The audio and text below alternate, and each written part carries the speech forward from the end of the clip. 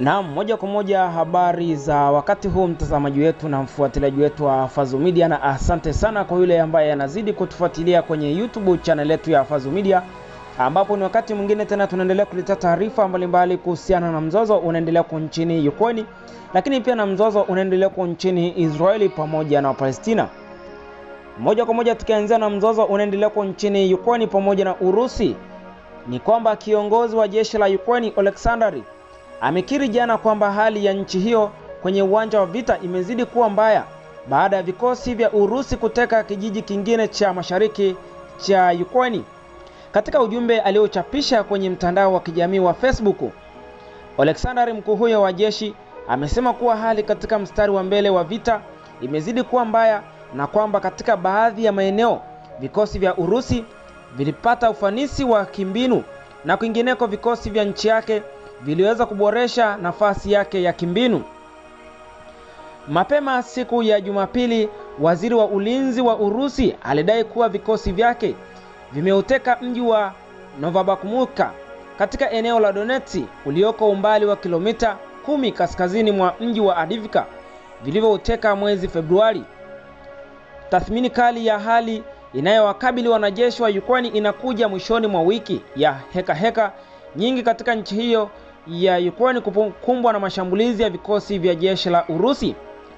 Hatimaye Marekani iliidhinisha msaada wa kifedha wa dola bilioni 61 baada ya miezi kadhaa ya mivutano ya kisiasa kwa ununuzi wa silaha zinazohitajika na wanajeshi wa Ukraine katika mapambano yake dhidi ya vikosi vya jeshi la Urusi. Mpenzi mtazamaji wetu na mfuatiliaji wetu wa Fazu Media, ni kukumbushe tu kama ndo mara yako kwanza kufika kwenye YouTube channel yetu ya Fazu Media, usisahau kubonyeza neno subscribe, kisha unaweza kubonyeza alama e, ya kengele itakayotokea. Lakini pia siku ya leo, siku ya Jumatatu ya tarehe 29 mwezi wa 4 mwaka 2024 Ukraine imesema hii leo kuwa imezima mashambulizi 55 ya Urusi katika eneo la mashariki la Donetsk, siku moja baada ya kukiri kuwa hali ni mbaya zaidi katika mstari wa mbele wa vita. Jeshi la Ukraine limesema limefanikiwa kuzima mashambulizi makubwa yapatayo 55 ya Urusi katika vijiji kadhaa vya kaskazini na magharibi mwa Novabakhmutka, kijiji ambacho Moscow imedai kukidhibiti. Mapambano makali yaliripotiwa mwishoni mwa juma katika eneo la mashariki mwa Ukraine ikiwa ni pamoja na kijiji cha Ocheretini ambapo mapigano makali yameripotiwa siku ya jana Jumapili. Vijiji hivyo vinapakana kaskazini mwa mji wa Avdiivka ulionyakuliwa na wanajeshi wa Urusi mwezi Februari. Vikosi vya Urusi vimekuwa vikipata mashambulizi lakini pia na mafanikio zaidi katika mkoa wa Donetsk, lakini huko pia Ukraine imesema inaendelea kupambana vilivyo na adui ambaye ni Urusi. Kamanda mkuu wa jeshi la Ukraine Oleksandr amesema hapo jana kuwa wanajeshi wake wamerejea kwenye safu mpya ya ulinzi katika maeneo ya magharibi, huku Ukraine ikionya pia kwamba Urusi itajaribu kushinda baadhi ya mapambano kabla ya sherehe yake ya Mei tisa. Kamanda mkuu wa jeshi la Ukraine amekiri kwamba hali ya nchi hiyo kwenye uwanja wa vita imezidi kuwa mbaya zaidi baada ya vikosi vya Urusi kuteka kijiji kingine cha mashariki cha Novobakumka. Rais wa China Xi Jinping anatarajiwa kufanya ziara nchini Ufaransa kuanzia Mei sita, huku vita nchini humo Ukraine na Mashariki ya Kati vikitarajiwa kuwa kwenye ajenda ya majadiliano na mwenzake Emmanuel Macron. Baadaye Rais Xi Jinping ataelekea katika nchi za Serbia na Hungary. Kuhusu ziara hiyo, Lin Jian, msemaji wa Wizara ya Mambo ya Nje ya China, amesema tunanukuu, ziara hii ni ya kwanza ya rais wa China barani Ulaya katika kipindi cha miaka mitano iliyopita. Ina umuhimu mkubwa katika kukuza mahusiano ya China na Ufaransa, Serbia na Hungary pamoja na maendeleo ya jumla ya uhusiano kati ya China na Ulaya. Pia ziara hii itafufua ari mpya katika maendeleo ya kuwa na dunia yenye amani. Wakati huo huo, Ukraine na Umoja wa Falme za Kiarabu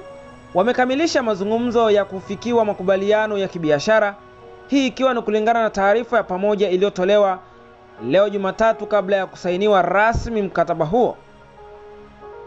Mkataba rasmi wa ubia wa kiuchumi ambao ni CEPA utasaidiwa kuondoa au kupunguza malipo ya ushuru wa bidhaa mbalimbali, kuondoa vikwazo vya kibiashara na kurahisisha ufikiaji wa soko kwa wauzaji wa bidhaa kutoka pande zote mbili. Aidha, mkataba huo utasaidia kufufua uchumi kwa Ukraine na kupiga jeki ujenzi wa viwanda muhimu pamoja na miundombinu mbalimbali, lakini pia kusaidiwa kuimarisha mifumo ya ugavi kwa nchi za Mashariki ya Kati na Afrika Kaskazini, hasa kwa mauzo makubwa ya nje ya Ukraine kama vile nafaka, mashine na madini ya chuma. Mpenzi mtazamaji wetu na mfuatiliaji wetu wa Fazu Media, ni kukumbushe tu kama ndo mara wa kwanza kufika kwenye YouTube channel yetu ya Fazo Media, usisahau kubonyeza neno subscribe, kisha unaweza kubonyeza alama ya kengele itakatokea. Lakini pia tukielekea kwenye mzozo unaendelea kwa nchini Ukraine, uh, Israeli pamoja na Palestina, sorry, ni Israeli pamoja na Palestina, kwamba Saudi Arabia inahofia vita kati ya Israeli na wanamgambo wa Hamas vilivyoongezeka katika mivutano katika kanda ya Mashariki ya Kati vinaweza kuvuruga hali ya kiuchumi duniani kote. Saudi Arabia ambayo ni mwenyeji wa mkutano maalum wa kimataifa unaojadili masuala ya kiuchumi imetoa mwito wa udhabiti katika kanda ya Mashariki ya Kati huku ikitahadharisha kuhusu athari zinazoweza kusababishwa duniani na vita vinavyoendelea kati ya Israeli na wanamgambo wa Hamas. Mtazamo wa Saudi Arabia umetolewa kwenye ufunguzi wa mkutano huo wa kilele unaohudhuriwa na mataifa mbalimbali. Waziri wa mambo ya nje wa Marekani Anthony Blinken, viongozi wa mamlaka ya Wapalestina na maafisa wa ngazi za juu kutoka nchi nyingine wanaojaribu kuzishawishi pande zote hizo mbili kwenye mzozo zifikie makubaliano ya kusitisha vita wako kwenye orodha ya wageni wanaoshiriki mkutano huo wa Riyadh. Katika kikao cha mwanzo cha mjadala kwenye mkutano huo wa siku mbili, waziri wa fedha wa Saudi Arabia Mohammad Al Jadani alisema vita vya Gaza pamoja na migogoro mingine ikiwemo Ukraine inachangia kusababisha shinikizo kubwa katika hali ya kiuchumi. Akigusia zaidi kuhusu athari za vita vya Gaza, waziri huyo amesema ni mgogoro uliosababishwa na mivutano ya kikanda, kuongezeka na mataifa yenye nguvu pamoja na viongozi wanapaswa kuidhibiti hali hiyo. Rais wa mamlaka ya Palestina Mahmoud Abbas ambaye pia anashiriki mkutano huo wa jukwaa la kiuchumi amesema Marekani ni nchi pekee inayoweza kuzuia hatua inayofikiwa kwa muda mrefu kuchukuliwa na Israeli ya kuvamia mji wa Rafa kusini mwa Gaza. Mahmoud Abbas ameiomba Marekani iizuie Israeli kuendesha operesheni ya kijeshi katika mji huo, akitahadharisha kwamba itasababisha uharibifu mkubwa wa maafa kwa raia ambao tayari wameachwa bila makazi. Mkutano huo wa Riyadh hauhudhuriwi na mjumbe yoyote kutoka Israeli. Mbali na masuala ya migogoro, mkutano huo wa kimataifa wa jukwaa la kiuchumi WEF unaipa pia nafasi Saudi Arabia kuonesha mageuzi yake kwenye upande wa masuala ya kijamii, ikiwemo kurudisha matukio ya burudani kama vile sinema pamoja na kuondoa marufuku ya wanawake kuendesha magari. Mpenzi mtazamaji wetu na mfuatiliaji wetu wa Fazo Media, nizidi tu kukumbusha, kama ndio mara yako ya kwanza kufika kwenye YouTube channel yetu ya Fazo Media, usisahau kubonyeza neno subscribe, kisha unaweza kubonyeza alama ya kengele itakayotokea.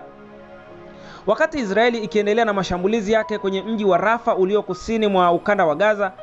viongozi wa kundi la Hamas wamewasili mjini Cairo, Misri kwa ajili ya kuendelea na mazungumzo ya kusitisha mapigano hayo ya Israeli pamoja na Palestina. Ujumbe wa Hamas uliwasili mjini Cairo siku ya leo Jumatatu ya tarehe 29 mwezi wa 4 ambako ulitazamiwa kutoa majibu yake kwa pendekezo la hivi karibuni la Israeli la makubaliano ya kusitisha mapigano kwenye ukanda wa Gaza na kuachiliwa kwa mateka baada ya takribani miezi saba ya vita. Misri, Qatar na Marekani zimekuwa zikijaribu kuwa wapatanishi kati ya Israeli na Hamas kwa miezi kadhaa hadi sasa, lakini katika siku za hivi karibuni shinikizo kubwa zaidi la kimataifa kutaka usitishwaji huo wa mapigano. Kituo cha television cha Al Kahira News ambacho kina mafungamano na idara ya ujasusi ya Misri kilisema mazungumzo yangelifanyika leo Jumatatu mjini Cairo, ingawa hakuweza kuwa wazi muda ambao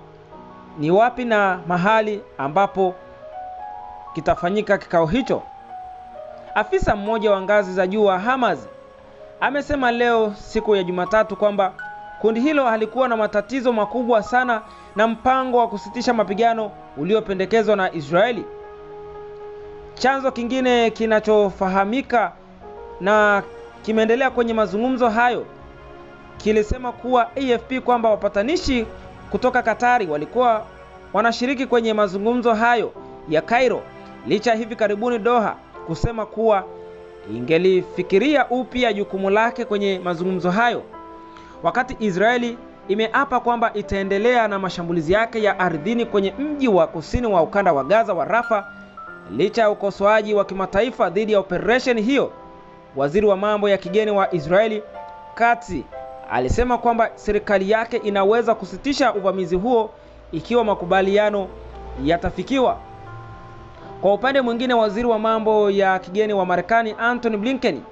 aliwasili nchini Saudi Arabia kuhudhuria mkutano wa pamoja kati ya nchi yake na mataifa wanachama wa Baraza la Guba mjini Riyadh. Blinken alisema Marekani ilikuwa inaona hatua kubwa zimepigwa kwa